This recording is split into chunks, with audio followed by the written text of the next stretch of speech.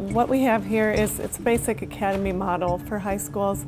Um, it's a career pathway model that focused on the career of engineering, various engineering and um, digital design, computer work.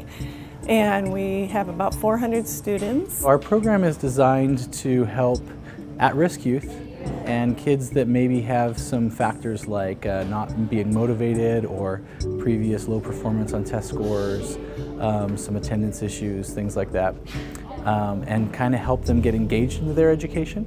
And so we try to do that by making an atmosphere that's extremely hands-on, uh, collaborative group work. So we do a lot of field trips. Um, we have a maker space where they have a lot of tools available to them, things that really kind of makes the learning come alive. We have a CNC laser. They use 3D printers, so when they design things on the computer, instead of it just being a theoretical part or something, they can print them out.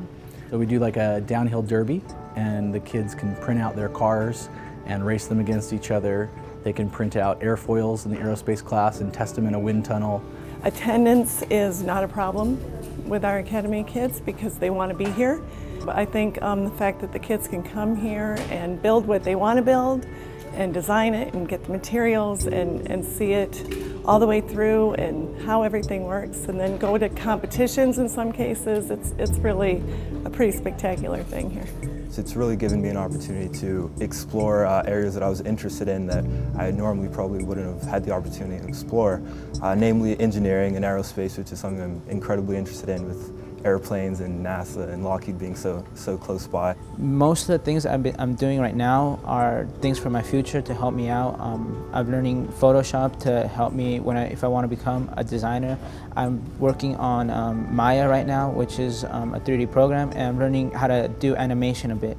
So that was pretty fun. We bring in mentors and provide them with internships, um, use local industry people to come in and talk to the kids um, show them what they can do if they can really do well in their studies and what the future can really hold for them. I've seen some kids who you know, came in and maybe weren't as motivated about what they do, but by the time they leave and graduate, they have direction, they have focus. And as an educator, that's why I'm here. That's what I came here to do, was to help kids take that next step and move on to something productive and, and something that makes them feel fulfilled in their own lives.